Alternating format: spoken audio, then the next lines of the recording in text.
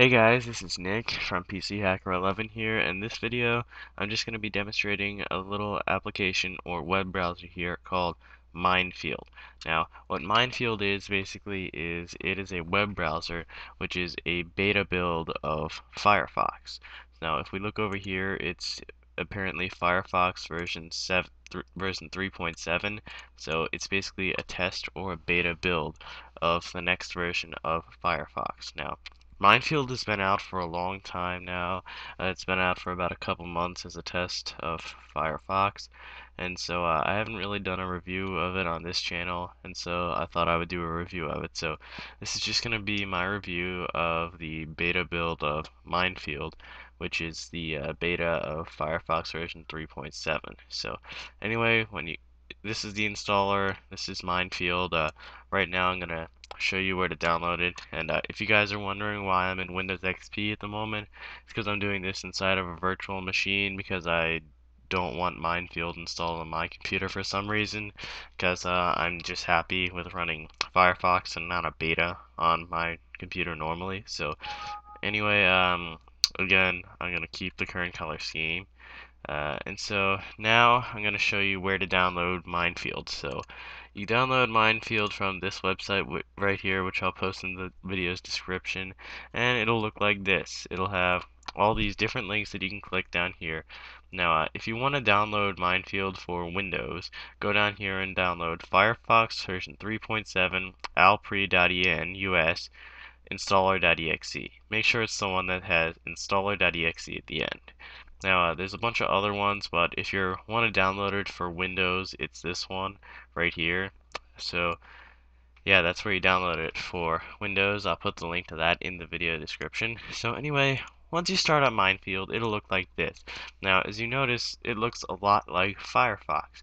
Well, that's because, as I said before, it is a beta build of the next version of Firefox, aka version 3.7. So, when you start it up, it'll come out to this page which says, thank you for using a pre-release version of Firefox. So it just says right there that this is a pre-release version. So I'm going to click on the X. And then we have the standard welcome to Minefield page. It uh, basically just says welcome to Minefield. So anyway, the minefield start page is basically the welcome to minefield page. So anyway, now uh, this is what it looks like normally. Now, it looks a lot like Firefox. It has most of the same features as Firefox, but uh, what I like is that it is um, fairly fast. It's a lot faster than the normal Firefox. So I'm going to see how long it takes out to load up Google. So google.com and so it loads up really fast. Now, I don't know why it brought me up to this page. I think it's because it's a weird virtual machine, but as you notice, it loaded up really quickly. So, uh, now, it loaded up a lot quickly, but that's just because Google's a low site. Let's check out a website that has a lot of pictures on it. So let's go to msn.com, see how long it takes Minefield to load that up. As you can see, it loads up really fast right there. It loaded up 10 times faster than Firefox would uh, on my normal computer. And the best part about this is it's in a virtual machine too, so it's running really fast for running in a virtual machine, so that's really good. So uh, that's really fast. So uh, let's compare times on that. I'm going to go ahead and open Firefox up here in Vista and see what happens. Just wait for it to load.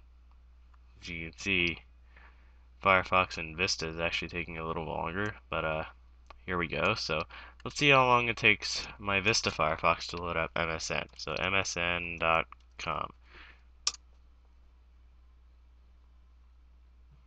Now, as you can see, that wasn't quite as fast as Minefield. And this is running off my normal computer, and this is actually running inside of a virtual machine. So, uh, go figure. So, anyway, Minefield is completely faster than the old version of Firefox. Uh, I think seeing how fast it is now, I might actually install it on my uh, main computer and keep it out of the virtual machine for a moment. But anyway, uh, I don't really want to spend too much time going over the features of it because uh, it's basically just like Firefox version 3.5, except it's uh, got a better speed boost and better increase in performance. So anyway, that's just been my quick little review of Mozilla's Minefield.